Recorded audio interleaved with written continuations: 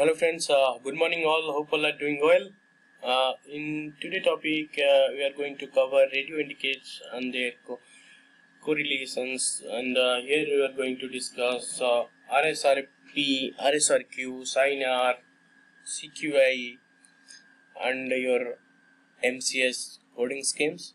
So uh, this this is the major indicators in which basis we identified the uh, we identified the issues in our network and uh, uh, let's discuss one by one.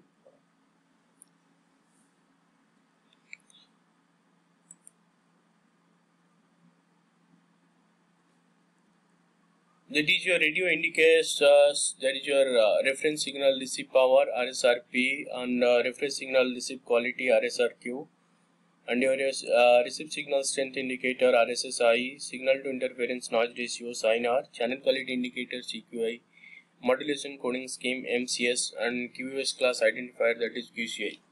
So we are uh, discussing one by one. First we start with RSRP. What is RSRP? So RSRP is their uh, reference signal uh, received power and uh, RSRP is measured in the signal strength. Uh, it is the most important uh, uh, used by the cell selection, reselection and handover process.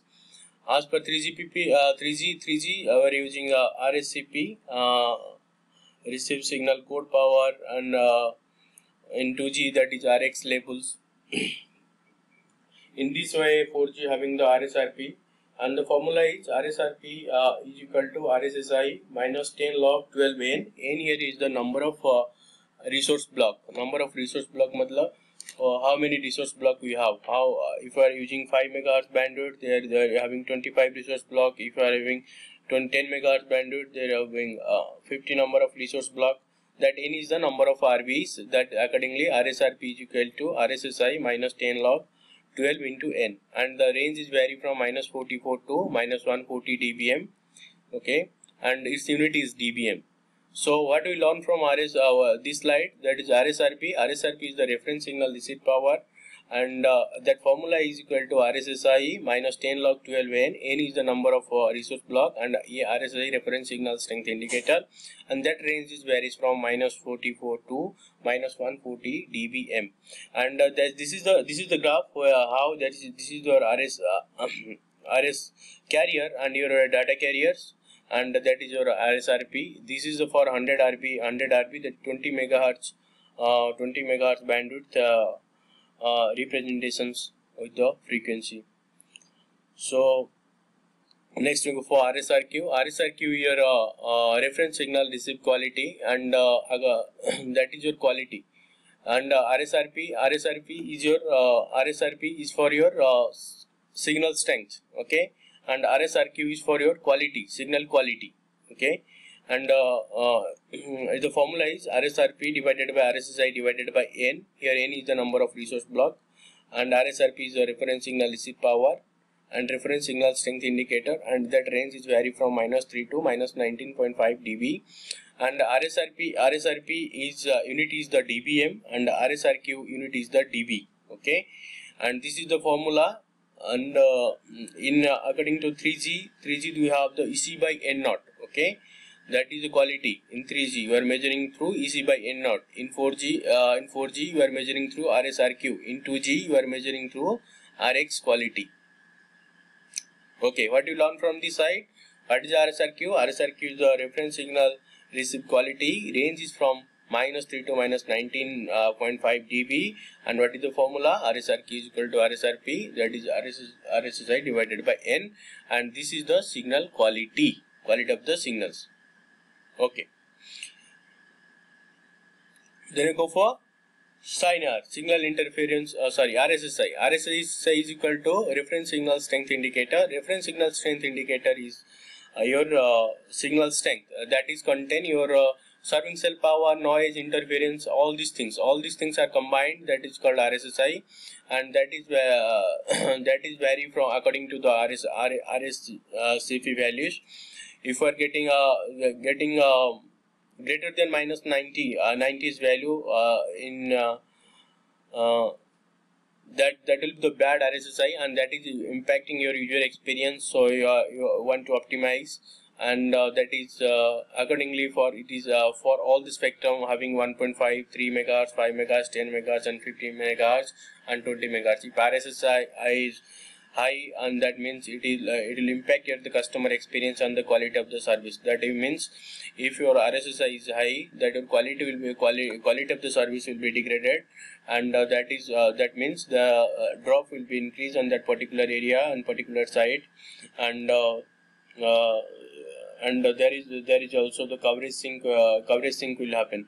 So uh, accordingly this value we can optimize uh, the RSSI value to improve our the customer experiences. So uh, next slide is the SINR. Uh, SINR is the signal interference noise ratio. Uh, on, one point here you remember that RSRP, RSRP, RSRQ and RSSI all the, the 3GPP standard but SINR is not a 3GPP standard that is defined uh, that is defined by the UE vendors and calculated uh, the SINRs. And SINR is the formula is the average received signal divided by average interface signal plus noise. Okay, that is signal interference noise ratio. Okay, what you learn from uh, now? One is your RSRP. Uh, what is your RSRP? What is the RSRP? Uh, reference signal received power range is from minus 44 to minus 140 minus 140 dBm and the formula is RSSI minus 10 log 12 n n is the number of resource block. What is RSRQ? RSI reference signal receipt quality and uh, that is formula is RSRP divided by RSSI divided by n and range is varies from minus 3 to minus 19.5 dB and here is the RS, RSRP unit is the dBm and here is the unit is the dB. Remember this and what is the RSSI? RSSI is the your reference signal strength indicator that is contain your serving cell power, noise, interference and power and that formula into N into RSRP that is N is equal to number of resource block. What is signal? Signal interference noise ratio and that is vary from this and this range is minus 3 minus 3 to plus 30 plus 30 dB okay and that is measure SINR is measured through your PD PDSCH channels and here here uh, RSSI also in measure with PUSCH physical uplink share channel and physical uplink uh, control channels that you can measure through the counter based and here you can measure RSSI downlink PDSCH and PD uh, ACH.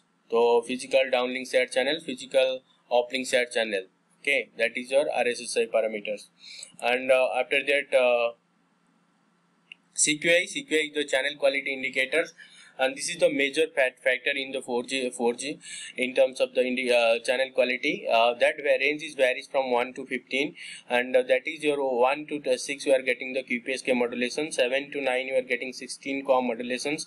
And 10 to 15 you are getting 64 QAM modulations.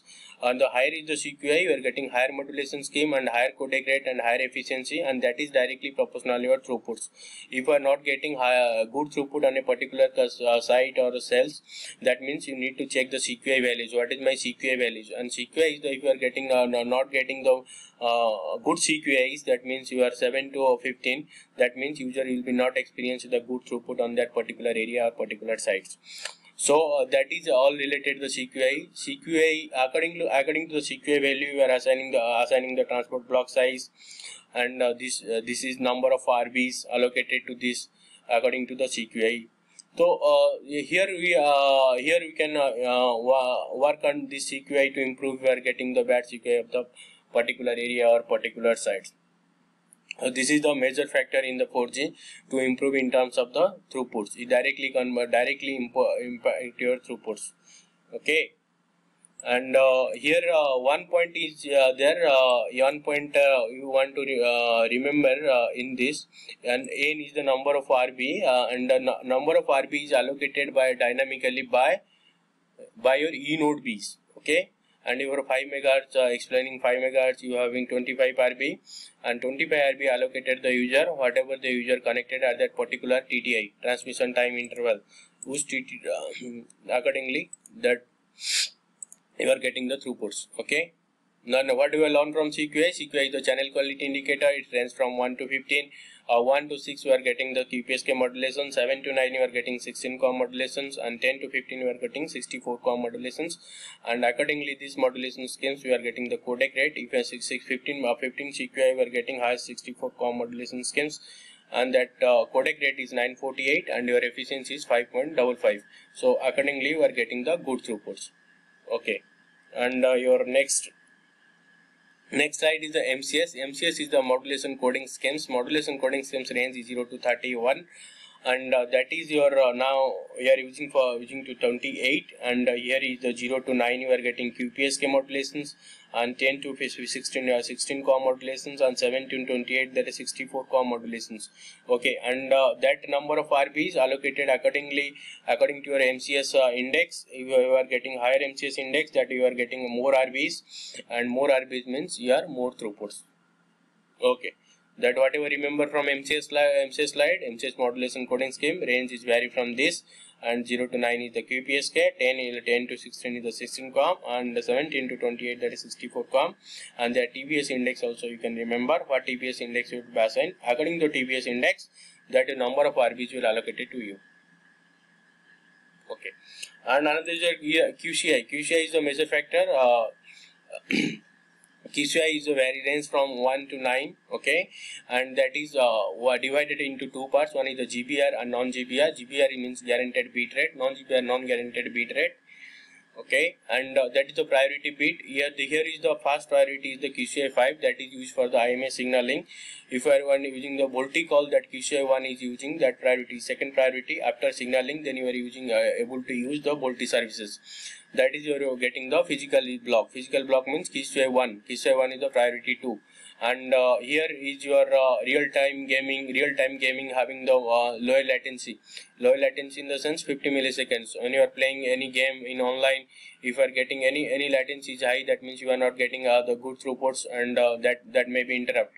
So that that is the one is the first is the first upon your highest priority is the IMS signaling and second highest priority is your conventional voice or the VoLTE and the third priority third priority is your uh, real time gaming. And fourth priority is your video video calling. If you are, you are uh, doing video call through your WhatsApp uh, and your Facebook or uh, that that is the, that is the required to real time monitoring because if you are not getting the, the uh, high latency if you are getting high latency and hard packet error that may be interrupted. And uh, 789 that are using for the non GBR non GBR is higher delay the your 6 and uh, 8 and 9 the delay is almost that you are when you are using the uh, videos from YouTube Facebook that is that is that that key is assigning to you. So at whatever remember QCI, QCI range 1 to 9 GBR and non-GBR 1 to 4 GBR 5 7 6 7 8 9 is non-GBRs and conventional voice real-time gaming IMS signaling that should be remembered. This is the QS classified. That is your uh, 1 to 9 and that basis that all the parameter are mapping through your uh, IP domain, packet core domain and core domain in this basis and radio domain also.